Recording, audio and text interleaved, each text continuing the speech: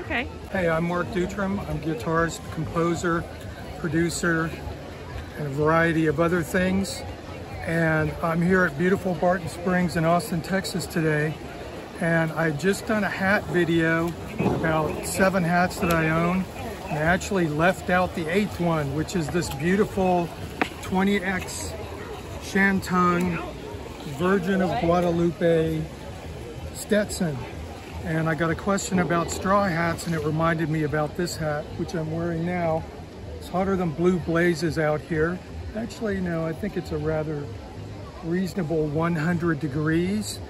And anyway, this hat is an excellent outdoor hat. It's light. You will never be able to change the shape of it. It's got a nice little ostrich band on it.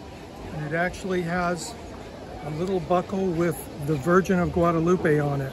This is a 20X Shantung Stetson. Unfortunately, they do not make these anymore, but they make a felt version of the Virgin of Guadalupe hat for $400 or something, which is out of my price range currently. And I don't need a new cowboy hat, as you probably know.